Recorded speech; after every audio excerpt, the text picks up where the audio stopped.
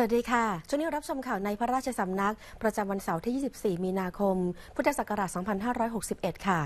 สมเด็จพระเทพรัตนราชสุดาสยามบรมราชกุมารี พระราชทานประกาศนียบัตร และรางวัลเรียนดีแก่นักเรียนนักศึกษา โรงเรียนจิตรลดาประจำปีการศึกษา 2560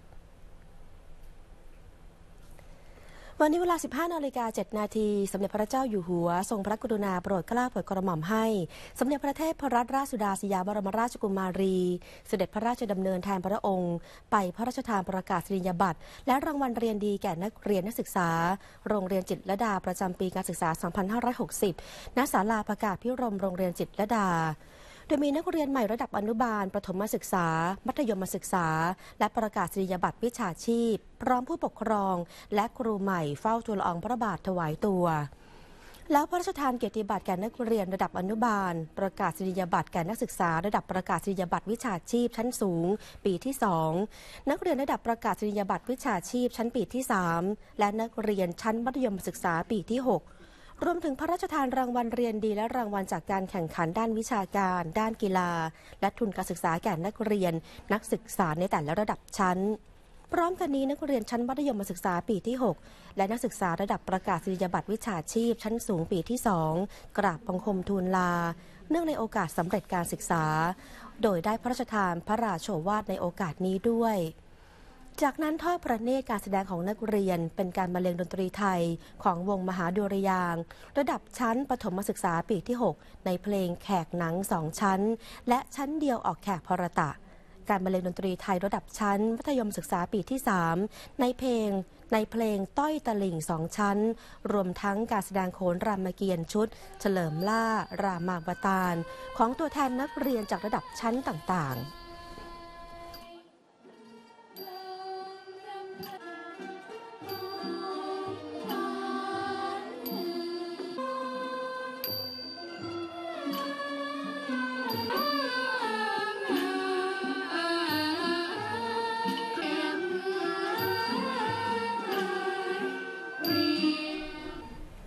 พระเจ้าวรวงศ์เธอ พระองค์เจ้าโสมสวลี พระวรราชาทินัดดามาตุทอดพระเนตรละครเวที ขอพบในฝันสุนทราภรณ์ The Musical รอบพิเศษ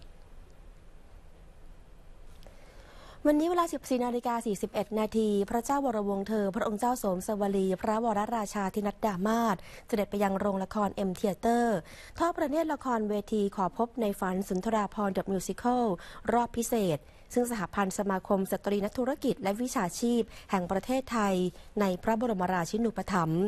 ร่วมกับคณะกรรมการเครือข่ายผู้ประกอบการสตรีอาเซียนประเทศไทย สภาองค์การพัฒนาเด็กและเยาวชน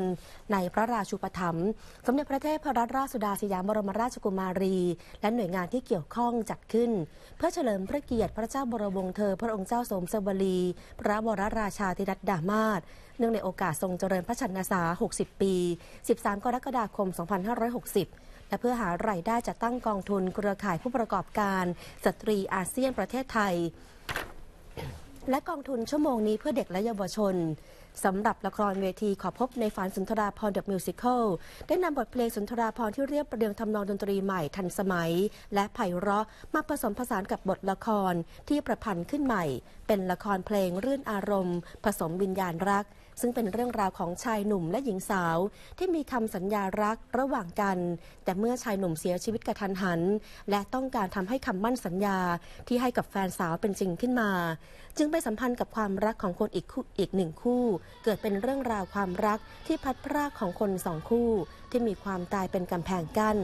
แต่สุดท้ายด้วยพลังและศรัทธาแห่งรัก จึงช่วยให้เรื่องร้ายกลับกลายเป็นดีได้ในที่สุด โดยการแสดงเริ่มตั้งแต่วันที่ 10 มีนาคมจนถึง 1 เมษายนนี้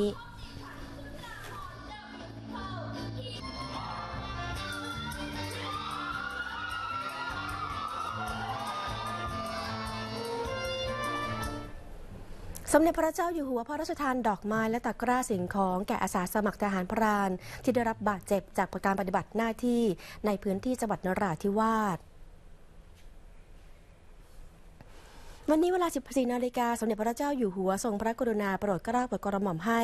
นายสุรพรพร้อมมูล ผู้ว่าราชการจังหวัดนราธิวาสเชิญดอกไม้ และตะกร้าสิ่งของพระราชทาน ไปมอบแก่อาสาสมัครทหารพรานทวัฒนาโสภา พลปืนเล็ก กองร้อยทหารพราน 4502โดยเฉพาะกิจกรมทหารพรานที่ 45 และอาสาสมัครทหารพราน แวมมะอัศรี ตระกูลสารณคม รองหัวหน้าชุดปฏิบัติการกองร้อยทหารพราน 4502โดยเฉพาะกิจกรมทหารพรานที่ 45 ที่ได้รับบาดเจ็บจากเหตุคนร้ายใช้อาวุธปืนลูกซอง ซุ่มยิงเจ้าหน้าที่ชุดรักษาความปลอดภัย กองร้อยทหารพราน 4502 หน่วยเฉพาะกิจกรมทหารพรานที่ 45 บริเวณโรงเรียนบ้านตะเลียง หมู่ที่ 4 ตำบลเกาะสะท้อนอำเภอตากใบจังหวัดนราธิวาสเมื่อวันที่ 23 มีนาคม 2561 และเข้ารับการรักษาพยาบาล ณ โรงพยาบาลตากใบอำเภอตากใบจังหวัดนราธิวาส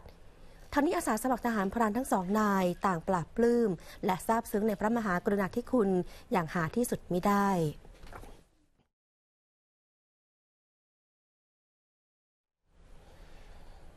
หน่วยพระราชทานและประชาชนจิตอาสาเราทำความดีด้วยหัวใจ ร่วมกันพัฒนาปรับภูมิทัศน์ คูน้ำริมถนนวิภาวดีรังสิต เช้าวันนี้หน่วยพระราชทานและประชาชนจิตอาสาเราทำความดีด้วยหัวใจ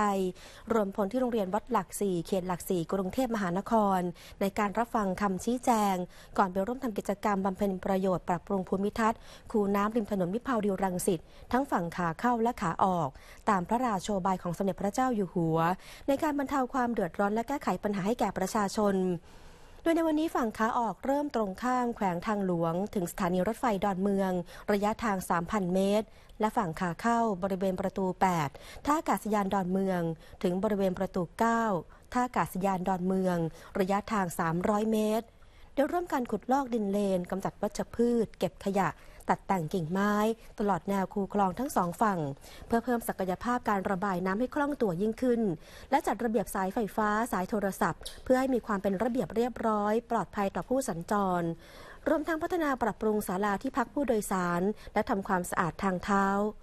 นอกจากนี้ได้ลงพื้นที่ทำกิจกรรมชุมชนสัมพันธ์ ที่ชุมชนสิทธิหลวงปู่ขาว อยู่บริเวณริมคลองเปรมประชากร โดยให้คำแนะนำและปรึกษาด้านสังคมสงเคราะห์แก่ผู้สูงอายุและคนพิการ เพื่อให้ได้รับสิทธิตามกฎหมายอย่างครอบคลุม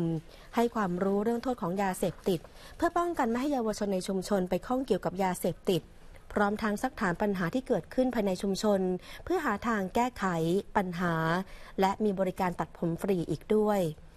ทางนี้กิจกรรมหน่วยพระราชทานและประชาชนจิตอาสา เราทำความดีด้วยหัวใจในครั้งนี้ มีขึ้นระหว่างวันที่ 12 มีนาคม ถึง 5 เมษายน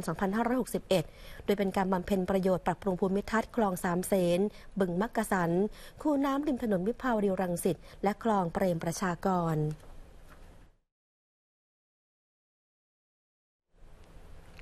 จบข่าวในพระราชสำนัก ดิฉันสริศวภาเลิกสนัน สวัสดีค่ะ เราจะส่งท้ายข่าวข้ามวันนี้